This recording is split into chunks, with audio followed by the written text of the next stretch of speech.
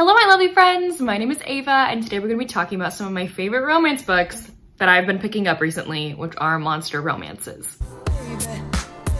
So I love monster romances. They're just so entertaining and hot and fun and just like a little step over from alien romances and I adore alien romances. For me personally and how I categorize monster romances is that it's different from an alien romance. So alien romances are its own like genre in my head and monster romances are something entirely different. Like I know that some alien romances have like monster alien creatures in them, but I categorize those solely as alien romances, if that makes sense. So these are just monster romances, so none of them are sci-fi related. Most of them are either set like in our world or in a fantasy land, or they're just like paranormal romances. So first is an author that I want to mention. I've been loving her books and I'm almost with her backlist. I just have two more to read. It's Layla Fae. She kind of got popular around Halloween time, I believe last year because she came out with this book called Jack. Um, and everyone's talking about how insane and bizarre it was. It's like this girl summons um, a pumpkin demon guy and he has the head of a jack-o'-lantern. so I thought this was fine. I gave it three stars. Like it was funny, sorry I have an eyelash, and entertaining. Um, but I've read better ones by her, you know? But this is the one that kind of like got her on the map and got me like introduced to her. My favorite books by her are the Silver Fury series, the first book being The Orc's Bride. So this is an orc romance trilogy, all uh, surrounding the same couple. So each book in the series is about the same couple. Our hero is an orc warrior chieftain guy, and our heroine is this tiny but strong um, human woman. In the first book, our heroine in here, she's basically out to kill all orcs because she's the only survivor of her family because these orcs have killed her entire family except for her. And um, her job now is to serve orcs that have taken over the land, like serve them food and drink and everything. Um, but then the orcs that took over her land get taken over by a, a rivaling orc clan. And our hero here is the leader of that clan or the warriors or whatever. He knows that the emperor of the orcs is trying to set him up with his daughter. He hates her. He cannot stand her. He does not want to be shackled to this orc woman. And so he's like, you know what? I guess I got to get married before I'm summoned back to court.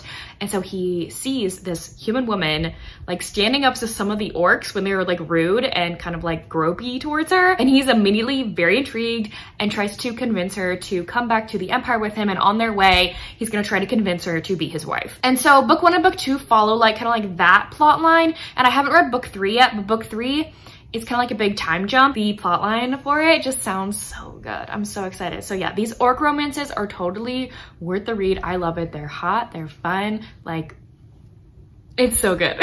and then Layla Fae has another orc book just called Orc. It's like a novella that's like, I wanna say like 40 to 15 pages. I don't remember the length of it, but basically our heroine is on this website that um, like matches like cosplayers or something and she's really wanting to find like more people who like cosplaying as like orcs and stuff. Like she has a dream of like getting with an orc. So she wants to get with an orc cosplayer.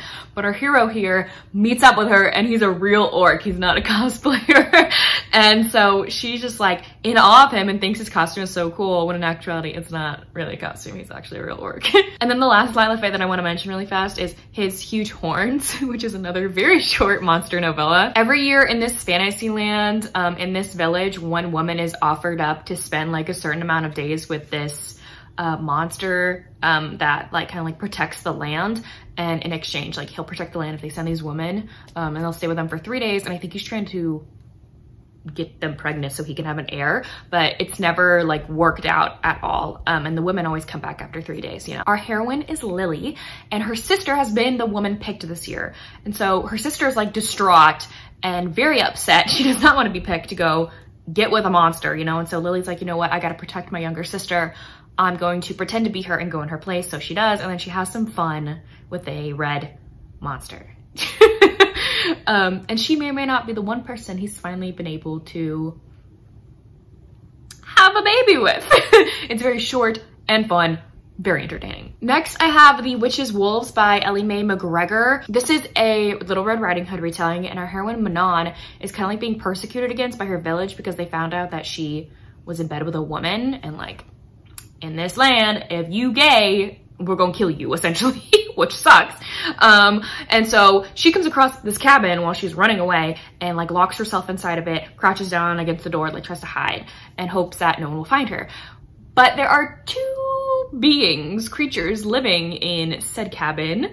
Um, they're kind of like wolf humanoid creatures, um, kind of like a werewolf, but mixed with a human. So like, I think they like walk on two legs. Like it's kind of like a wolf and a human mixed together. Um, that's one thing in here that I was a little confused by. Like the descriptiveness of what they looked like wasn't really in the book, but that's how I pictured them in my brain. they uh, are a couple themselves. They're two of these wolf wolf humanoid pe uh, people and their mates mates themselves. And so when they meet Manon, they're very intrigued by her.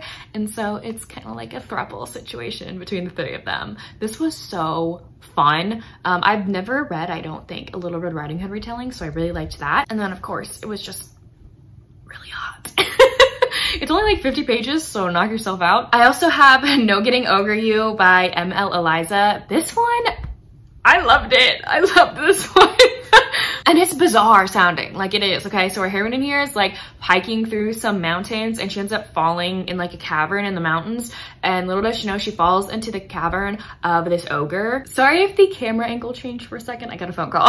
anyway, um, so yeah, she falls into this cave and there's this ogre and he's big. Like he's like kind of like giant essentially. And he finds this girl unconscious on his floor and he immediately like claims that he's his and it's so cute there's like a language barrier between the two of them too so they're trying to communicate with each other which I love the language barrier trope. I love it so much. the two of them like fall for each other despite them not being able to communicate 100%. And um, it's so good. it's really good. I loved this. It was so fun. Like, I love monster romances because like, they're just different from the sometimes boring contemporary romances. That's why I don't solely read contemporary romances because it's boring to me. It is. Um, and so these are just so fun. Like they get you out of your box and it's kind of like a breath of fresh air, even though they're monsters. I read this last year and I honestly can't stop thinking about it. I really want to read it just because like it was really cute. Like you wouldn't think that a monster romance to be cute, but our hero here is so stinking cute. Next I have His Darkest Craving by uh, Tiffany Roberts. This is kind of like a shadow demon.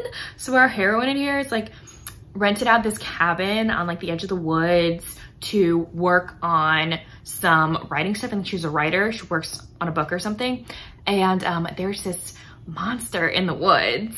Um, and he's kind of like this shadowy demon and he's only able to become like get in his human form like once every year or once every 100 years or something like that. I can't remember. And that's coming up really soon. I think maybe no. Is he able to get in his human form every Halloween or something like that? I don't know. But anyway when he sees our heroine, she's the first human he's ever seen that he hasn't killed. Like he's just killed everybody that's come to his woods.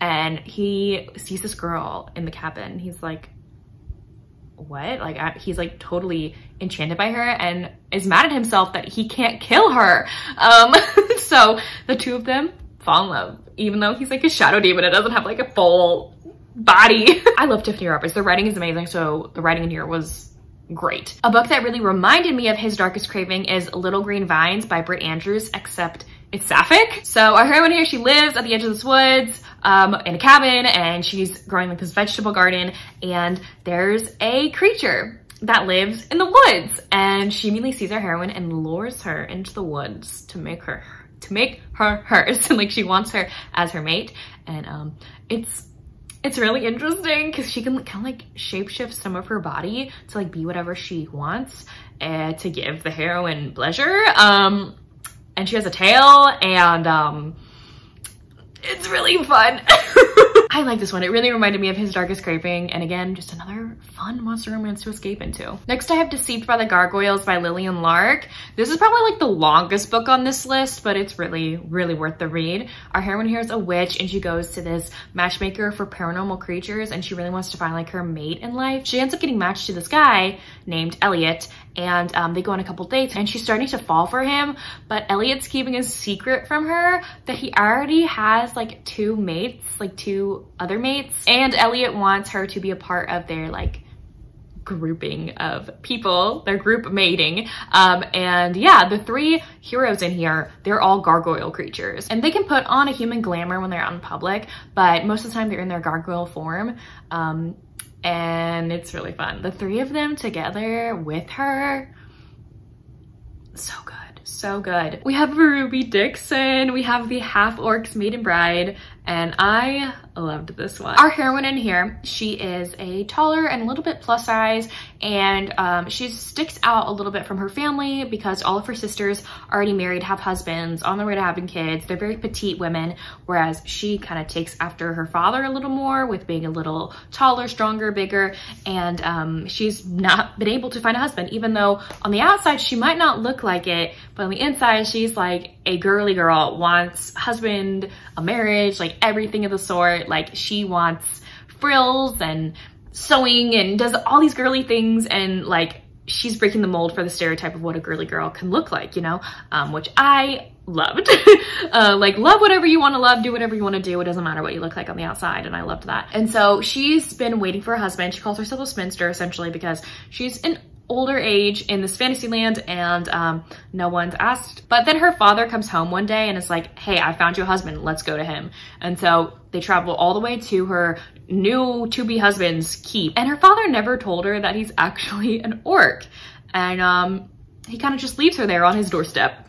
And yeah, they go through some marriage customs. He's like the sweetest bean ever. Like I love him. He is such a cinnamon roll cute hero. You wouldn't think that an orc is, but he is. He is so patient and kind and loving to the heroine and I love it so much. And of course, Ruby Dixon's writing is amazing. And like this story is great. It takes place in the same world as her other fantasy books, but has zero correlation whatsoever to them. But it has some of the same marriage customs as The King's Spinster Bride, which is my favorite, one of my favorite books of all time. So I Love this one, and I really hope that Ruby Dixon writes more orc romances. Lastly, I have The Widow and the Wolf by Adrienne Blue. This one is very short. I wanna say it's like 40 pages long. In this world, um, I think it's like Earth, but people know that monsters exist and like monsters and humans kind of like live day-to-day -day lives like together. And so our hero in here owns this factory. He's the boss of this factory. And it's kind of like this wolf creature. He's very scary on the cover. Like, I don't really want to look at the cover, honestly. he scares me. Um, but yeah, he's this wolf creature. And um, he's been pining for one of his employees for a while, who is our heroine. And she's a widow. She's been widowed recently, and she's been pining after her boss for a while too. And she ends up staying late one day after work. And um, they finally reveal their feelings for one another and they have some fun. um, and yeah, this was really short and sweet. I know that there are more books in like this monster romance like series. Um, and so they're just short monster romance novellas that I really want to dive into. Um, so yeah, but anyways, there you have it. Those are some monster romance recommendations for you. Let me know down below if you have any recommendations for me. I'd love to know. And also let me know if you've read any of these books or if you plan to. And if you don't feel like commenting any of those things, you can leave me the um, red monster looking emoji down below. But anyways, thank y'all so, so much for watching. I will see y'all soon in my next one. Bye y'all.